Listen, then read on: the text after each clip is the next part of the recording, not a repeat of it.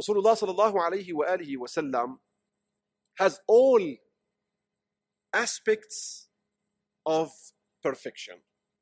We love things either because they are beautiful, and this is a superficial level.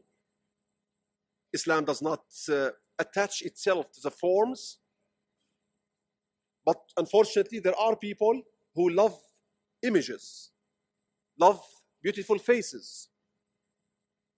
This is one of the worst hinders of people getting married because everyone has some uh, icon on uh, in his mind and he is looking for his uh, perfect mate.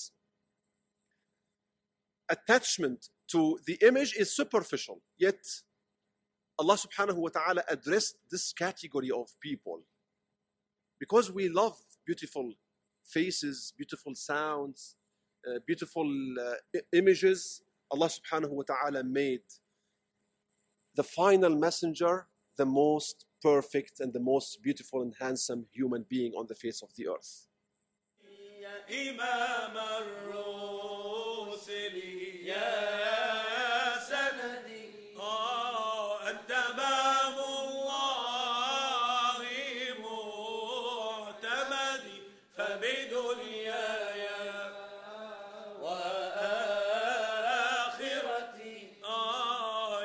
رسول